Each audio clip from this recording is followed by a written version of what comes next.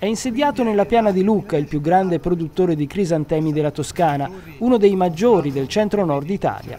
La Blumen di Altopascio, guidata dai quattro figli dei soci fondatori, Leonardo e Nicola Paganelli e Fabio e Fulvio Pagni, produce 60.000 steli alla settimana, 3 milioni e mezzo all'anno, in serre coperte che si estendono per due ettari.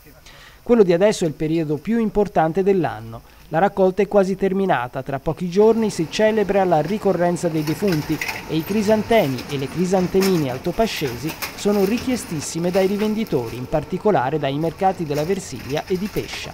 Ma la più importante caratteristica delle serre Blumen è di aver scommesso da tempo su una coltivazione completamente green.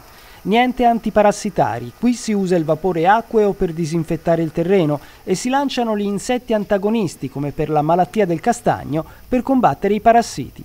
Trattamenti che sono più costosi della chimica tradizionale, ma gli obiettivi dei titolari sono chiari. Lo facciamo per una sostenibilità dell'azienda, per non usare i, i, gli antiparassitari, i veleni e perché con il chimico non si riusciva più a ottenere un risultato decente.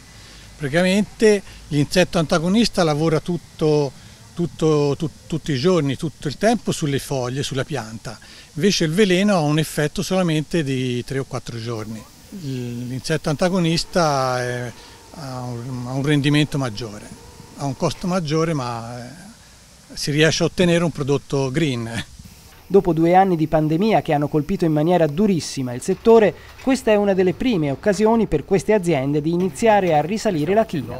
Il direttore di Coldiretti Lucca, Alessandro Corsini, lancia un appello in questo senso. Chiaramente l'invito che vogliamo fare oggi è anche quello di, eh, di, di comprare fiori italiani, quindi ai cittadini vogliamo dire comprate fiori italiani perché sicuramente sono fiori che danno la possibilità appunto alle nostre imprese di ripartire da questi anni difficili, ma anche perché le nostre imprese imprese sono aziende che guardano molto al green, guardano molto all'utilizzo diciamo ridottissimo di sostanze chimiche e quindi l'invito appunto è di acquistare fiori italiani.